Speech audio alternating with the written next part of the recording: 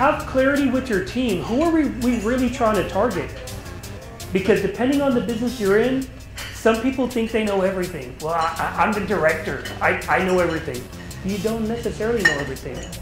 Because maybe there's a different generation you're trying to market to. Maybe it's a neighborhood that's one type of person. Get with your team.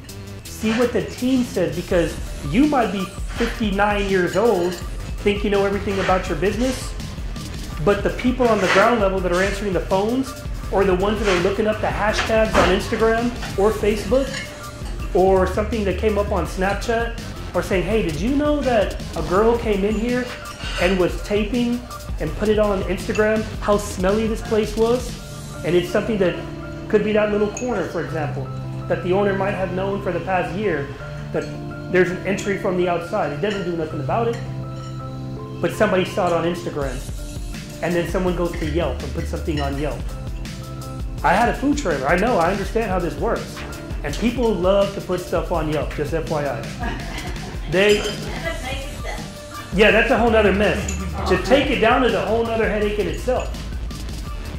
So think about stuff like that. Don't necessarily say, I know everything about my business, but get other people to have input, especially people that work there, because they have different views. You might have the top view, see what's going on at the ground, because they have access to the people on the outside.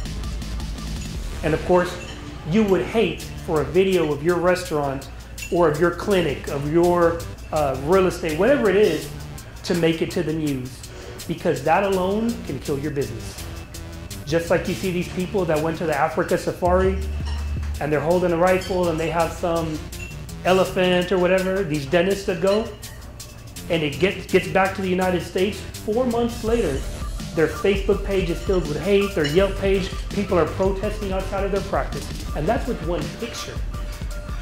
Imagine what a video can do to your business, negative-wise. Really interesting how things work, especially nowadays, because it's speed, it's fast, it's fast.